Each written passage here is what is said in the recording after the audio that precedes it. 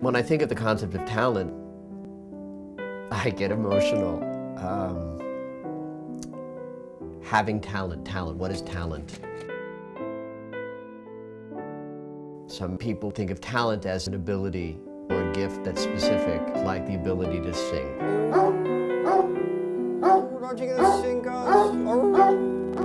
There isn't a human being on the earth who can speak who can't sing.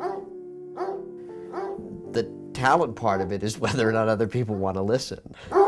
Guys. Really talented singers, God. people who really sort of rock the boat with it. It's not about how good their voices are, but how much spirit comes through when they sing.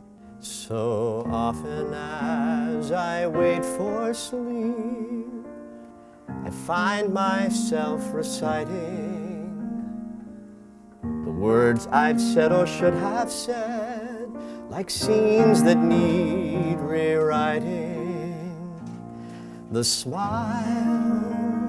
I never answered, doors perhaps I should have opened, songs forgotten in the morning.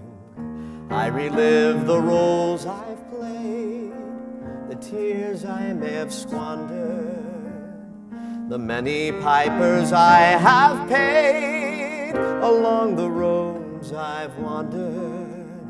Yet all the time I knew it, love was somewhere out there waiting, though I may regret a step or two.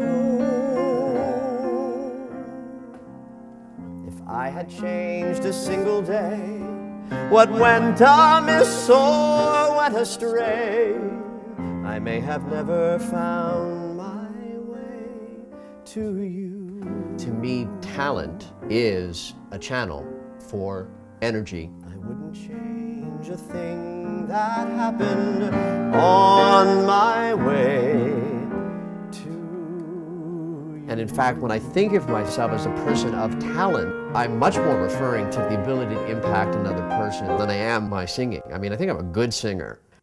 Not a great singer, but I consider myself a great talent because of my ability to impact another person.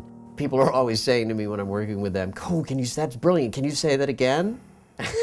I just laugh and I say, no, I, I can't. I have no idea what I just said. And I'll back up and I'll try to repeat myself kind of with the memory of what I've just said. But no, in fact, I don't know what I've just said because it's not something that's coming from me. It's com- something that's coming through me.